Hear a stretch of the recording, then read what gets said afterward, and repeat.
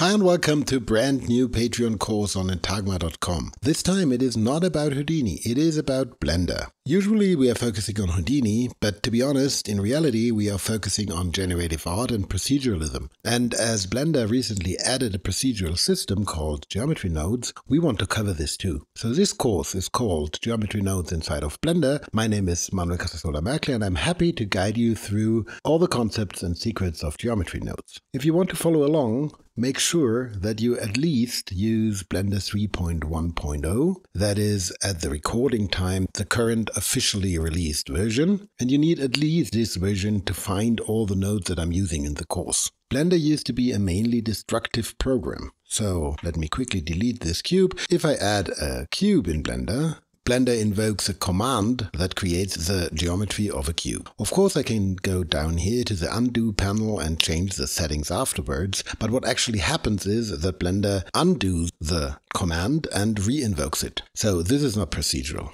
And what exactly is created here? Well, this is a 3D object and it is composed of two types of data. First, it defines a local coordinate system and inside of this coordinate system, it defines geometry through points and polygons. You can see this over there in the outliner. We have the cube here and it has an orange icon and this orange icon is the coordinate system or the object's container. So that is the data that defines the space in which the points are defined. And you can go down here to this orange tab it says object properties. Here you see location, rotation, and scale, and these nine numbers make up the coordinate system.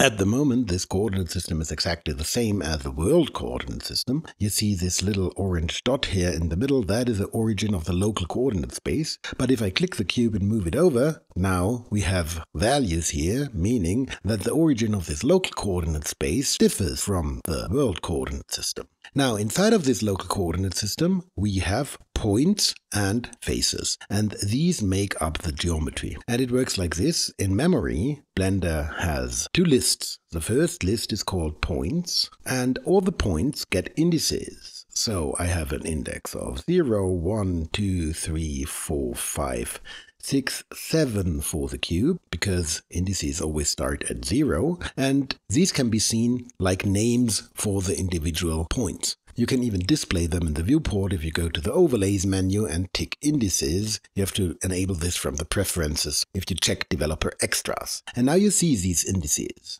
This is a table, sort of, and after each index, the vector is stored where this point happens to exist in 3D space. So here comes a vector storing the x, y, and z coordinate, and that is true for all the points. You can have a look if you invoke the N panel, and if I just select one of these points, you see that is the coordinates. And remember, these coordinates are stored with respect to this origin point, not this origin point. Now, we have points, but these points have to be connected somehow, and that is where the poly list comes into play. So there's a second list in memory called polys, and it stores again indices, but now stores polygons. This cube is made up of six polygons, so we have 0, 1, 2, 3, 4 and 5. Now these table entries store the connectivity. So for example, let's look at the first face and if we select all the four points here, we can see they are numbered 0, 1, 5, 4. So the very first polygon might be something like 0, 1, 5, 4. And that is the indices of the point list. So the polygon just tells Blender which points to connect. And then it stores a little flag like C or something that tells the polygon that it is closed. Otherwise it would be just a polyline connecting 0 to 1, 1 to 5, 5 to 4. But if I store this flag closed, it stores the polygon as a face. Now, this is how geometry works inside of Blender. We have a points list and we have a polys list, and the polys reference the points. All of this goes into the local coordinate system. This polygon data is not stored inside of the object. Instead, these two tables are stored in the blend file, and you can see them actually. If you open up this cube, then you see this green cube here, and that is just the geometry data, consisting of the point list and the polygon list. And how is this geometry data linked to the coordinate system? That is done here in this Object Data Properties tab. If you go here, you see a lot of sections, but the most important part is that one at the top here where it says cube.001. This is the actual polygon data. And by linking it here, you connect the polygon data with the coordinate system. So if you take the cube, press Shift D and make a copy, you see that the copy gets a different name and the polygon data gets a different name too. So we have two cubes now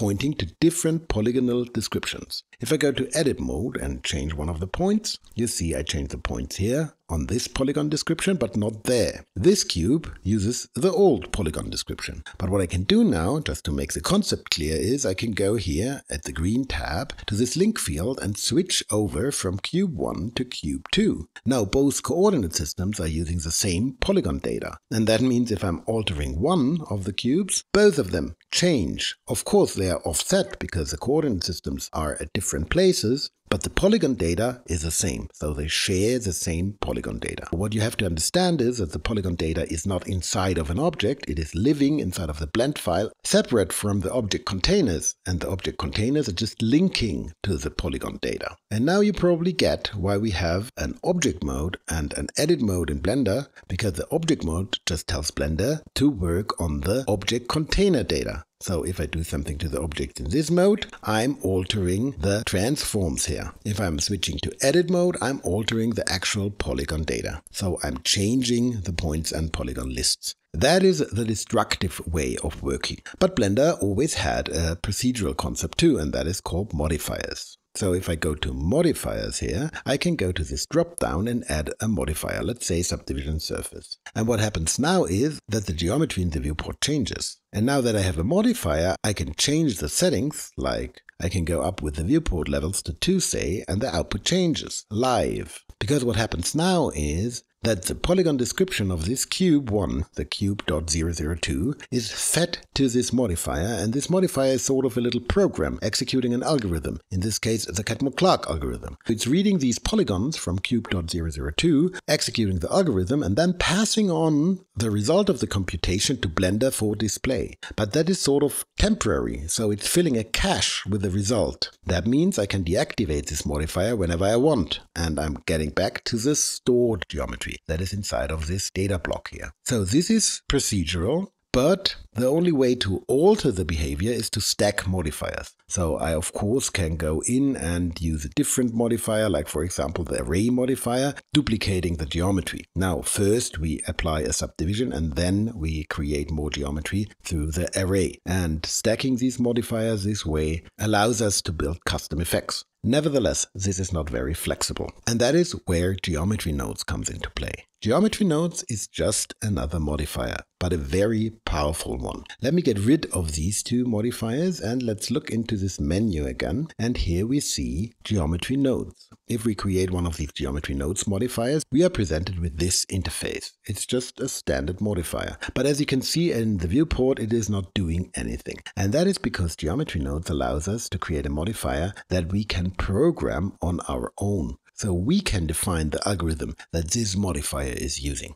How do we do this? We have to create a recipe and tell the modifier to use this recipe. And we do this by using nodes. Nodes is a way of visual programming. So to tell the modifier what to do, we have to create a so-called node tree, define the algorithm to use inside of this node tree, and then link this node tree to the modifier itself. Here in the interface, you see geometry nodes two times. The first geometry nodes entry here is just the name of the modifier. I can call it my GN for now, my geometry nodes, for example. That's just a name. But the second one is a link field, and this links to just another data block inside of the blend file. It links to a node tree. And how can we alter this node tree? Well, there's an editor for this. So let's create a new panel and let's switch this over to Geometry Nodes Editor. And what you see here is the node tree consisting of two default nodes, the group input and the group output. How do we know that we are looking at the node tree that is linked to this modifier? Well, by name. If I just rename this, say to instructions, like so, you see the name changes up here too. And that means that this editor is displaying the contents of the node tree linked here. You can have as many node trees as you want inside of a blend file and you can change them by clicking into this little menu here. At the moment we just have one and then you can edit them inside of this editor. So what we have here is a modifier and the modifier is using this node tree to decide what to do but at the moment it's just doing nothing. The setup is working, but you see nothing here. By the way, there is a different, more easy way to add geometry nodes to an object. Let me get rid of this modifier. With the geometry nodes editor open, if you select an object, you can just press the new button up here and it will create a new node tree called geometry nodes. Let me change this to second tree, say, and it will automatically create the modifier needed. So this modifier is in charge of actually altering the polygons, just as we saw with the subdivision surface modifier. But instead of using the Catmull-Clark algorithm, we can define the algorithm using nodes. And how to actually do this will be explained in the next episode.